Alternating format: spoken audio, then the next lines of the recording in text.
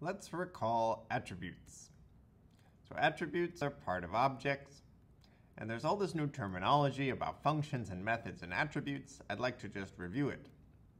So all objects have attributes, which are name-value pairs.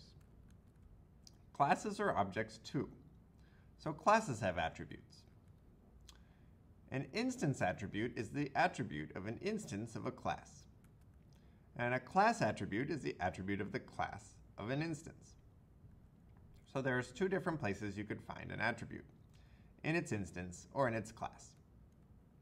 Now, here's for the tricky part. We have the set of all class attributes and the set of all things that are functions. Functions aren't particular to object-oriented programming, but methods are.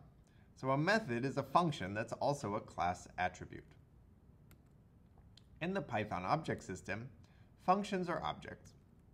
Bound methods are also objects, slightly different kinds of objects, that has a function with its first parameter self already filled in, already bound to an instance.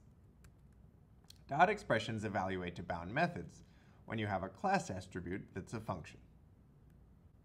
And this is a very common pattern where you have some instance here before the dot, and after the dot you have a method name.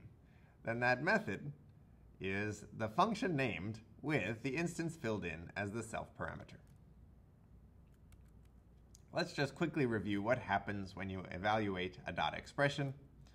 You evaluate this by evaluating the expression on the left of the dot, which yields an object.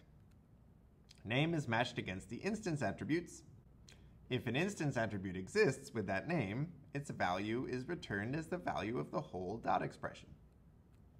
If not, then name is looked up in the class which yields a class attribute value. And that value is returned unless it's a function, in which case you get a slightly different version of the function. You get a bound method, where you get the function with its first parameter bound already to the object of the dot expression.